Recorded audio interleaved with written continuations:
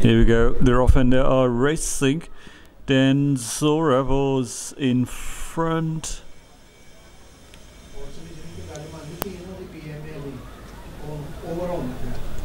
Now it's coming and some pressure from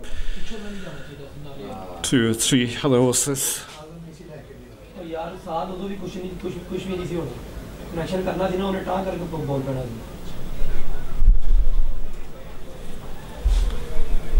Approaching three furlong marker on the curve, sprinting down to the last straight.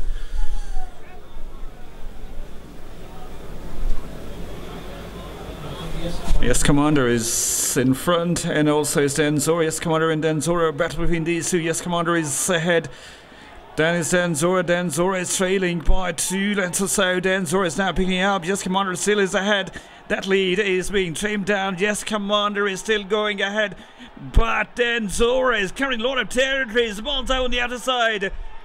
But yes, Commander has made it. Slimmest of the margins, but yes, Commander prevailed.